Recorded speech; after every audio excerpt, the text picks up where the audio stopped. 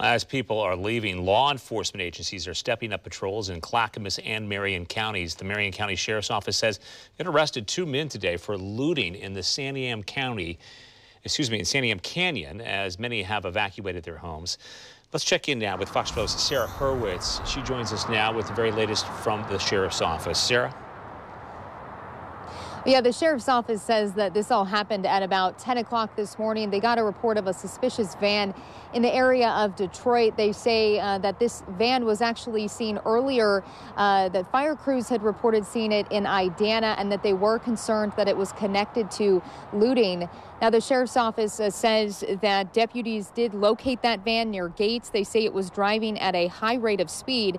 The Marion County and Linn County Sheriff's deputies pursued the van as well as Oregon State Police were helping out westbound on Highway 22, taking the exit toward Stayton and Sublimity areas. The Sheriff's Office says that the van actually drove through a golf course and then deputies deployed spike strips and were able to stop the van. The sheriff's office also says that the two suspects ran from the van. They were eventually taken into custody.